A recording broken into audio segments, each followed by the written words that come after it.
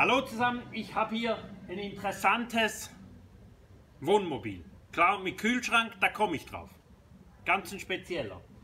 Zum Fahrzeug, das ist ein MAN TGE 3 180 mit dem 180 oder fast 180 PS Motor, Automatengetriebe, Allrad und wir schauen uns jetzt das Fahrzeug rundherum an.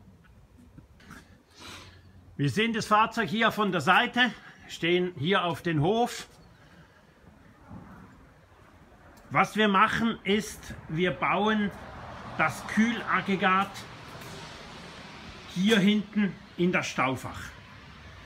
Wir haben also einen Kühlschrank, der sitzt oben und hier unten sitzt das Kühlaggregat, wird zurzeit noch befüllt und so haben wir die Abwärme bzw. auch den Lärm hier im Staukasten. Das Aggregat ist Standard mit 230 Volt, 12 Volt, BD35 mit Lüfter.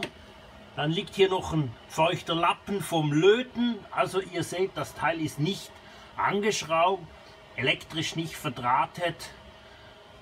Das kommt noch. Wir gehen hier ins Wohnmobil rein.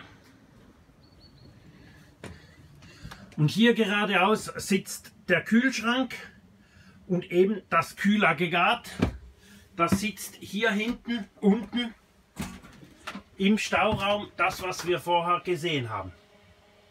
Die Leitung führt hier hinter am Ladebooster vorbei und hinten an die Rückwand. Und hier ist ein 76er ohne Eisfach.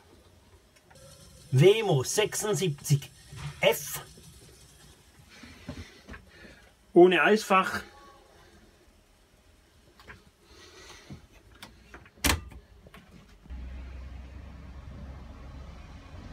Ja, das war's aus einem allradtauglichen